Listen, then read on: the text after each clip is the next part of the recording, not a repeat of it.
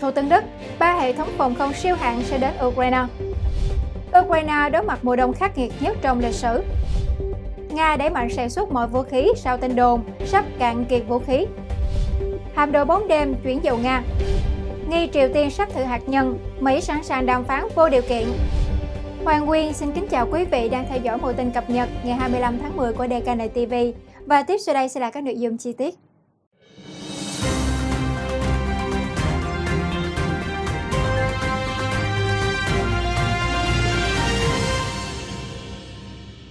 Thưa quý vị, phát biểu tại Diễn đàn Kinh tế Đức Ukraine ở Berlin, Thủ tướng Đức Olaf Scholz đã hứa sẽ gửi thêm cho Ukraine càng sớm càng tốt các hệ thống phòng không hiện đại do Đức sản xuất, bao gồm cả ba hệ thống Iris-T danh tiếng. Theo đài RT trong một tuyên bố cho biết, ông Olaf Scholz cũng đã lên án các cuộc tấn công bằng tên lửa của Nga vào cơ sở hạ tầng của Ukraine và nói rằng chúng ta phải làm mọi thứ để bảo vệ các thành phố và thị trấn của Ukraine. Thủ tướng Đức đã khẳng định Iris-T có thể bảo vệ toàn bộ thành phố lớn khỏi tên lửa và máy bay không người lái và cho biết nước này ủng hộ mạnh mẽ Ukraine và sẽ tiếp tục làm như vậy miễn là cần thiết với các đối tác khác. Iris-T SLM là một hệ thống phòng không đất đất không có khả năng đánh chặn tên lửa tới độ cao 20 km và khoảng cách lên tới 40 km, theo truyền thông Đức cho biết.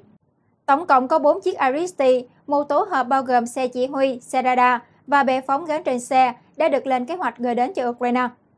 Cho đến nay, Đức mới chỉ giao một chiếc như vậy vào đầu tháng 10. Những chiếc còn lại dự kiến sẽ được cung cấp cho Kiev không sớm hơn năm 2023. Đức đã gửi số vũ khí trị giá hơn 728 triệu đô la Mỹ cho Ukraine, bao gồm nhiều đợt chuyển giao phòng không Gepard, tự hành và pháo Patriot 2000, kể từ khi bắt đầu cuộc xung đột vào cuối tháng 2. Theo Reuters cho biết, Tổng thống Ukraine ông Volodymyr Zelensky vào ngày 24 tháng 10 cũng đã kêu gọi Israel tham gia cuộc chiến chống lại Nga và lặp lại các đề nghị phía Israel cung cấp các bệ phóng phòng không. Thưa quý vị, trong cuộc phỏng vấn với tạp chí Handelsblatt của Đức, được công bố vào ngày 24 tháng 10 cho biết, Yuri Vichenko, người đứng đầu Tập đoàn Năng lượng Nhà nước Ukraine, Naftoga cho biết, khoảng 40% nhà máy điện tại Ukraine đã bị phá hủy do các cuộc không kích gần đây của Nga. Ông Vichenko đã tuyên bố, năm nay sẽ là một mùa đông khắc nghiệt nhất trong lịch sử của chúng tôi. Chúng tôi dự kiến sẽ mất điện liên tục và gặp các vấn đề về hệ thống sưởi. Trong cuộc phỏng vấn với The Guardian vào cuối tháng 8 cho biết, thời điểm trước khi Nga tiến hành cuộc tấn công nhằm vào cơ sở hạ tầng năng lượng của Ukraine, ông Vichenko từng nói rằng, nếu không có sự hỗ trợ tài chính của phương Tây, Ukraine sẽ thiếu khí đốt và hệ thống điện của họ có thể sụp đổ. Vào tháng 9, ông đã kêu gọi người dân Ukraine tích trữ chăn và quần áo ấm. Tổng thống Ukraine, ông Volodymyr Zelensky vào ngày 23 tháng 10 đã cáo buộc Nga phát động một cuộc tấn công quy mô lớn vào Ukraine, trong đó các cuộc tập kích vào cơ sở hạ tầng năng lượng, dẫn đến mất điện trên toàn quốc. Lực lượng không quân Ukraine cho biết, hàng chục tên lửa của Nga đã tấn công các cơ sở năng lượng và cơ sở hạ tầng khác trên khắp Ukraine vào cuối tuần qua. Xung đột giữa Nga và Ukraine có xu hướng leo thang gần đây khi Kyiv đã tìm cách phản công ở mặt trận miền Nam và miền Đông. Lực lượng của Nga ba tuần vừa qua cũng đã tăng cường các đợt tập kích diện rộng bằng các tên lửa và máy bay không người lái tự sát nhằm vào hạ tầng quan trọng của Ukraine. Phó chính văn phòng Tổng thống Ukraine, ông Kirilo Timoshenko đã ước tính các cuộc không kích của Nga đã khiến cho hơn 10 triệu hộ gia đình ở Ukraine sống trong cảnh mất điện. Các nhà chức trách địa phương đã kêu gọi người dân giảm mức tiêu thụ điện một số vùng của Ukraine đã cắt giảm lượng điện sử dụng tới 20%. Ông Dmitry Orlov là thị trưởng của thành phố Enehoda ở đông nam Ukraine vào ngày 23 tháng 10 đã cho biết Enehoda đang đứng trên bờ vực của thảm họa nhân đạo bởi vì các cuộc pháo kích liên tục của Nga đã phá hủy cơ sở hạ tầng dân sự và lưới điện. Enehoda là nơi đặt nhà máy điện hạt nhân Zaporizhzhia lớn nhất châu Âu. Thưa quý vị, hãng TASS vào ngày 25 tháng 10 đã dẫn lời của Phó Chủ tịch Hội đồng An ninh Nga, ông Dmitry Medvedev đã cho biết, nước này đang tăng cường sản xuất mọi loại vũ khí sau một số thông tin liên quan đến kho vũ khí của nước này bị ảnh hưởng bởi chiến sự ở Ukraine. Ông đã viết trên Telegram rằng, việc sản xuất mọi loại vũ khí và thiết bị đặc biệt đang gia tăng nhiều lần, từ xe tăng và súng ống cho đến tên lửa chính xác cao và máy bay không người lái UAV. Quan chức này đã khuyên đối phương không nên hy vọng rằng Nga sẽ cạn kiệt vũ khí.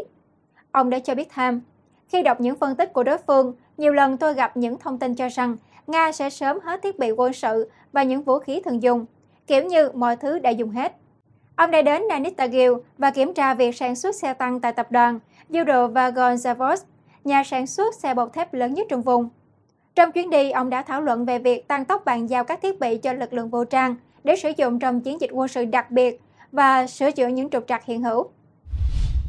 Thưa quý vị, Liên minh châu Âu, EU và G7 dường như đã tự tin rằng có thể chặn đứng hoạt động xuất khẩu dầu thô bằng đường biển của Nga nhờ vào ưu thế về số lượng tàu chở dầu đông, dịch vụ vận chuyển và bảo hiểm. Nhưng các số liệu được phân tích gần đây đã cho thấy họ đã đánh giá sai lầm. Các bộ trưởng tài chính G7 đã tuyên bố sẽ bắt đầu áp giá trần đối với dầu của Nga từ ngày 5 tháng 12. Để làm được điều này thì họ muốn tạo ra một liên minh quốc tế rộng rãi và cung cấp bất kỳ dịch vụ nào liên quan đến việc vận chuyển dầu của Nga trên biển, nếu nó được bán với giá cao hơn giá trần mà liên minh đã đồng thuận.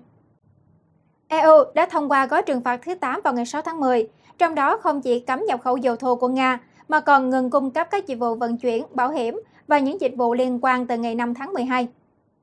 Bất chấp các nỗ lực đó, các bên về đây đã đều nhận ra rằng Nga có thể tiếp tục bán dầu ra nước ngoài bằng một đội tàu và dịch vụ của chính họ hoặc là các nước thân thiện.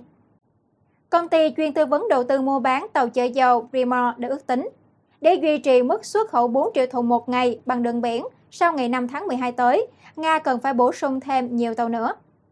Hiện nước này có đội tàu khoảng 240 chiếc, trong đó có 102 tàu kích thước Aframaxes chở được từ 80.000 đến 120.000 tấn.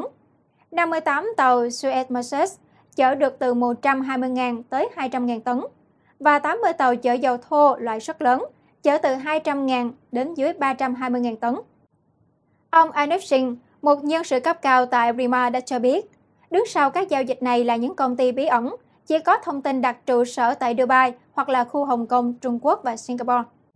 Nhiều tàu trong số này đã cũ, song cộng với các tàu của công ty Sovcomlost của Nga và tàu của Ấn Độ, Trung Quốc có thể tạo thành một hạm đội bóng đêm để đáp ứng nhu cầu vận chuyển dầu thô của Nga.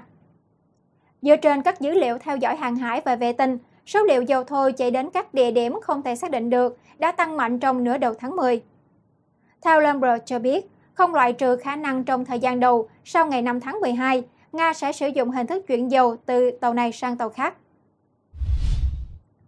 Thưa quý vị, người phát ngôn Bộ Ngoại giao Mỹ vào ngày 24 tháng 10 cho biết, Triều Tiên được cho là đang chuẩn bị cho vụ thử hạt nhân thứ bảy, trong đó khi Mỹ đã sẵn sàng đối mặt với bất kỳ mối đe dọa nào từ Bình Nhưỡng.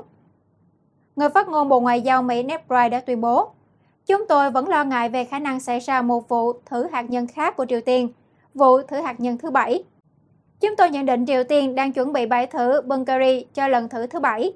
Chúng tôi chuẩn bị sẵn sàng cho mọi tình huống và sự phối hợp cùng với các đối tác và đồng minh trên toàn thế giới. Chúng tôi chuẩn bị thực hiện cả những điều chỉnh ngắn hạn và dài hạn về chính sách quân sự để đối phó với hành động khiêu khích của Triều Tiên, tăng cường khả năng phòng thủ và răng đe để bảo vệ các đồng minh của chúng tôi trong khu vực. Trong khi đó, ông John Kirby, người phát ngôn Hội đồng An ninh Quốc gia Nhà Trắng, cũng đã bày tỏ lo ngại về những hành động khiêu khích gần đây của Triều Tiên, đồng thời cũng đã nhấn mạnh rằng khả năng Bình Nhưỡng sắp thử hạt nhân. Ông nói, chúng tôi luôn lo ngại về các hành động khiêu khích của Triều Tiên, không phải vì họ gia tăng các vụ phóng tên lửa trong vài tuần qua, mà đó là mối lo ngại từ trước đến nay của chúng tôi. Do vậy, từ vài tháng trước, chúng tôi đã bổ sung năng lực tình báo ở bán đảo Triều Tiên để giúp chúng tôi có góc quan sát toàn diện hơn. Triều Tiên đã phóng hơn 10 tên lửa đạn đạo chỉ trong 3 tuần kể từ cuối tháng 9, nâng tổng số tên lửa đạn đạo mà nước này đã phóng trong năm nay lên tới là 44. Đây cũng là một con số tên lửa đạn đạo nhiều nhất mà Triều Tiên đã phóng trong một năm. Vào ngày 4 tháng 10, lần đầu tiên Bình Nhưỡng đã phóng tên lửa qua Nhật Bản. Triều Tiên được cho là đã hoàn tất mọi việc chuẩn bị cho một vụ thử hạt nhân. Nước này cũng đã tiến hành vụ thử hạt nhân lần thứ 6 và cũng là lần gần nhất vào tháng 9 năm 2017. Người phát ngôn Hội đồng An ninh Quốc gia Nhà Trắng đã từ chối bình luận khi được hỏi liệu Mỹ có thể xem xét tái triển khai vũ khí hạt nhân chiến thuật của Mỹ tại Hàn Quốc nếu Triều Tiên tiến hành vụ thử hạt nhân lần thứ bảy hay không. Người phát ngôn Bộ Ngoại giao Mỹ đã nhắc lại cam kết của Washington trong việc tham gia các cuộc đối thoại với Triều Tiên. Thưa quý vị, vào sáng ngày 25 tháng 10, triều cường hơn mức 1,7 mét. Một số khu dân cư ở thành phố Thủ Đức, Bình Thạnh và quận 7 chìm trong nước. Người dân vất vả đi làm, đưa con đến trường. Cơn mưa kéo dài đêm hôm qua kết hợp với triều cường vào sáng hôm nay đã khiến cho khu dân cư ở tổ 35, trên đường Phạm Văn Đồng, phường Hiệp Bình Chánh, thành phố Thủ Đức đã ngập kéo dài. Hàng loạt ô tô đậu trước khuôn viên khu dân cư đã bị ngâm trong nước. Vừa dắt xe xuống đường thì bị chết máy, anh Bùi Đình Dư cố gắng đẩy bộ đưa con đến trường. Anh đã nói rằng, khu dân cư này ngập hơn 5 năm rồi, từ khi đường Phạm Văn Đồng làm xong, chỗ này thành vùng trũng luôn. Có những hờ mưa lớn cùng với triều cường làm nước động cả mấy ngày chưa rút. Gần đó, cửa hàng của chị Ly nước ngập suốt đêm hôm qua, gia đình của chị phải thuê khách sạn để ngủ. Chị Ly cho biết, sáng tôi về sớm canh nước rút để quét dọn nhà cửa. Mỗi năm ngập nặng nhất vào khoảng tháng 10 và tháng 11. Hôm nào mưa to, cả nhà ra ngoài tìm chỗ ngủ. Cách đó hơn 5 km, một trường mầm non trong hẻm 480, đường Bình Quế ở bán đảo Thanh Đa, phường 28 quận Bình Thạnh cũng ngập. Người dân trong khu vực cho biết, do khu vực này ba mặt giáp sông, vốn trụng thấp nên thường xuyên bị ảnh hưởng bởi triều cường. Theo Đài khí tượng thủy văn khu vực Nam Bộ cho biết, nước tại các vùng hạ lưu sông Sài Gòn, Đồng Nai tiếp tục lên theo triều cường vào đầu tháng 10 âm lịch những ngày tới, cao nhất là từ ngày 25 đến ngày 27 tháng 10. Tại trạm Phú An và Nhà Bè, nước có thể ở mức từ 1,67 đến 1,72 m, hơn báo động 3 từ 0,07 m đến 0,12 m, được xem cao nhất từ đầu năm nay, tính đến lúc triều cường từ 5 đến 7 giờ và từ 17 giờ đến 19 giờ.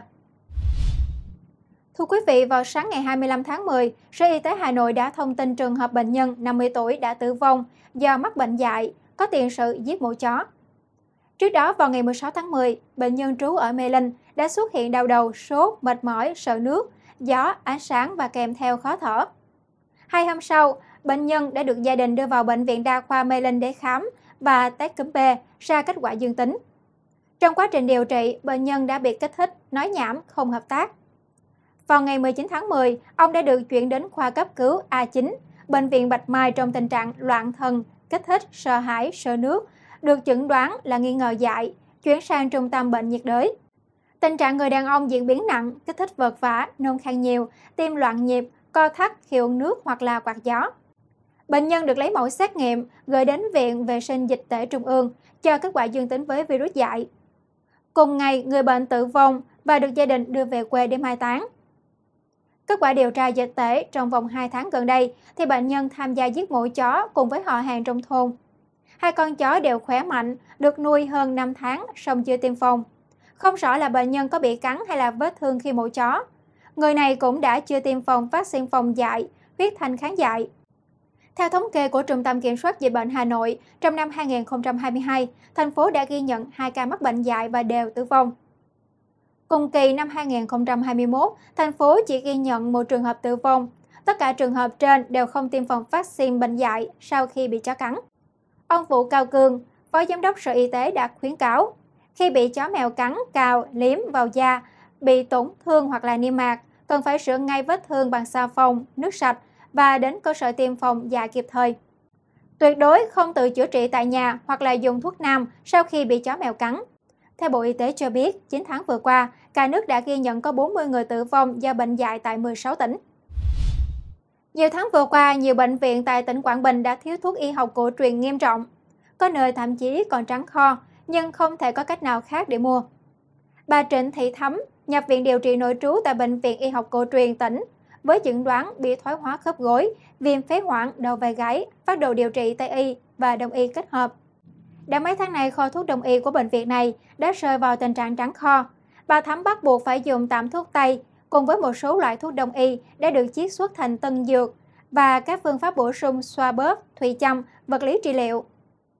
Ông Trần Xuân Phú, Giám đốc Bệnh viện Y học cổ truyền Quảng Bình đã nói, hàng trăm lượt bệnh nhân đang điều trị nội trú tại đây đều chung tình cảnh này.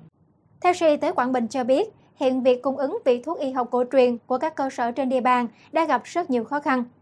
Ngoài Bệnh viện Y học cổ truyền tỉnh, Bệnh viện Đa khoa huyện Bố Trạch, Bệnh viện Đa khoa huyện Lệ Thủy cũng đang lâm vào tình trạng cạn kho thuốc y học cổ truyền.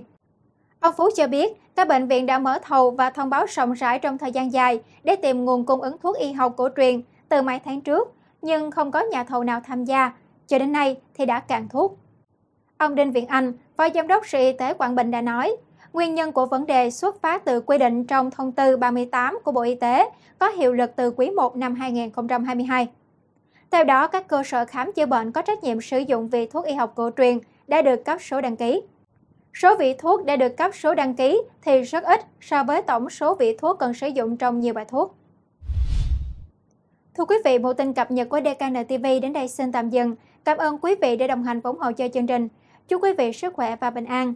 Hẹn gặp lại quý vị trong các chương trình tiếp theo.